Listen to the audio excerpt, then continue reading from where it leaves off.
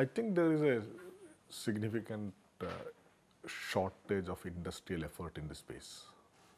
So we know the basic uh, solution for OCR.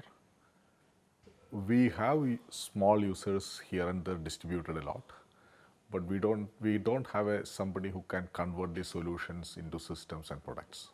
So I see digital library as uh, one of the possible direction for this purpose, because if you have a good end user, then there is a there is a possibilities an industrial partner or a solution can come at the earliest. And in the present form, what we have is there are distributed users. Everybody want an OCR for scanning one or two pages, and we have no way of uh, characterizing them and providing a solution to them at this stage.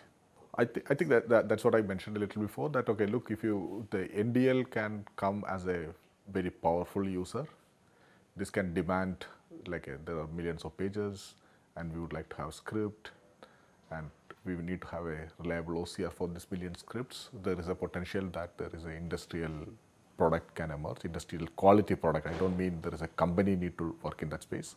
A quality product which can which had seen a large number of uh, documents in the, the different scripts, fonts, print variations.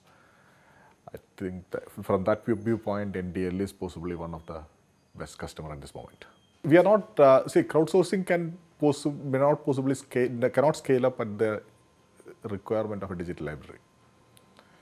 So what we are really missing is not that type of involvement from people. What we are missing is engineering effort, not the basic recognizers. There are some cases where you don't have enough annotated data and you really need human expertise to be captured, where the crowdsourcing is really useful.